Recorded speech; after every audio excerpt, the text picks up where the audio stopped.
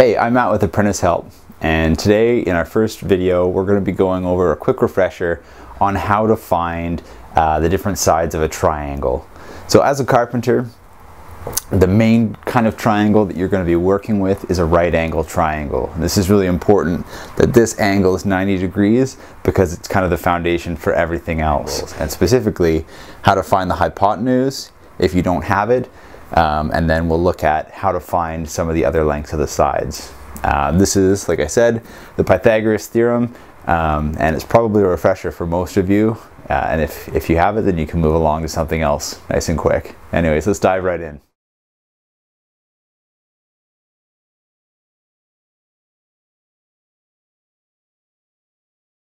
So when we're working with the Pythagoras theorem, side C is generally always going to be the hypotenuse. A can be up here, B can be down here. It doesn't really matter. This can be A, this can be B, that's fine. But the key is that we always remember that C is the hypotenuse. So up here we're going to pretend that we don't know what the hypotenuse is. And we'll use a really common uh, triangle that you'll use throughout most of your career in carpentry. We call it the 3, 4, 5 triangle. One of the sides is going to be 3, maybe 3 feet, 3 inches, whatever. The other side is going to be 4. We'll just say feet for ease of illustration. And then we want to figure out what C is. I've already said it's 3, 4, 5, so we know, so we can actually work with that now, just to double check ourselves. So the Pythagoras theorem is based on the idea of C squared is equal to A squared plus B squared. So let's, let's put this into our example here. So C squared, which is our hypotenuse, is equal to a squared. That's 3 to the power of 2. It means 3 times itself, so 3 times 3. Plus b squared, which is 4 to the power of 2, which is 4 times 4. Go down to the next level. c squared equals 3 times 3 is 9. 4 times 4 is 16. c squared equals now 25 is not the answer yet. we still have c squared, so that's whatever this is times itself equals 25.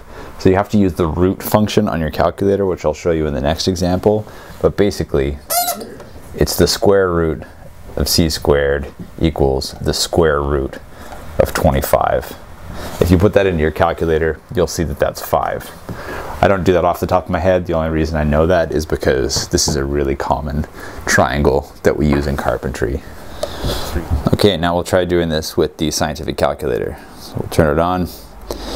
So we want to figure out what our calculation is. So we take 3 to the power of 2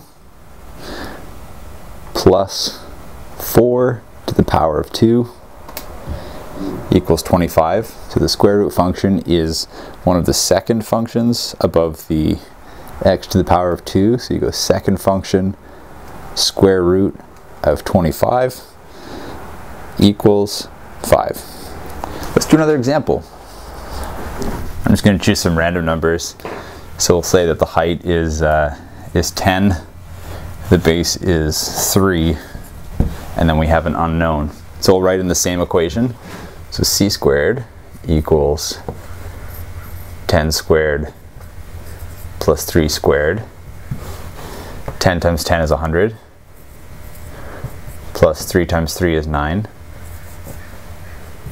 That's 109. If we do the square root of that, I need to get my calculator here, is 10.44.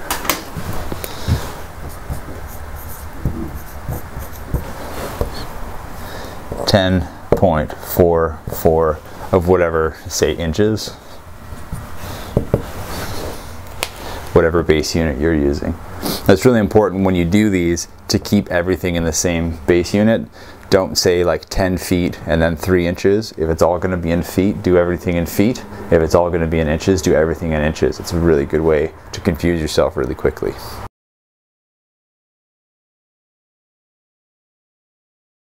All right, let's take a look at the next example. So this is an example where we actually have the hypotenuse let's say this is, we'll, we'll stick with our 3, 4, 5 because we've already solved it. We know what it is.